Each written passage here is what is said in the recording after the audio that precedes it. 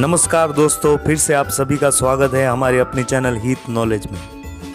दोस्तों, अगर आप क्रिकेट के फ़ैन हैं तो एक नाम ज़रूर सुना होगा झूलन गोस्वामी।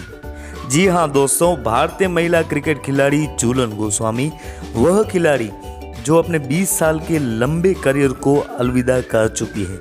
झूलन गोस्वामी एक भारतीय महिला तेज गेंदबाज, जिनके नाम अंतर्राष्ट्रीय क्रिकेट में सबसे ज़्यादा विकेट लेने के खिलाड़ियों की सूची में अव्वल नंबर पर आता है। झूलन गोस्वामी के निजी जीवन के बारे में बता दूँ तो उनका जन्म 25 नवंबर 1982 पश्चिम बंगाल के नदिया ज़िले के चकाहदा शहर में एक मध्यम परिवार में हुआ था।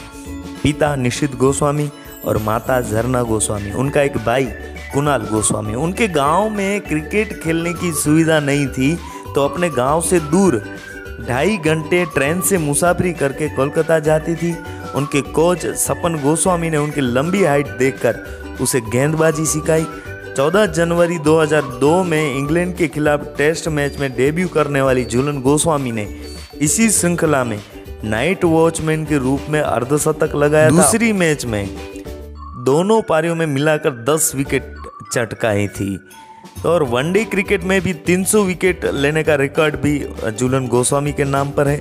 जनवरी 2022 विश्व कप में ज़्यादा विकेट लेने का रिकॉर्ड भी जूलन गोस्वामी। ऐसे तो कई सारे रिकॉर्ड और कई सारे अवार्ड उनके नाम पर हैं।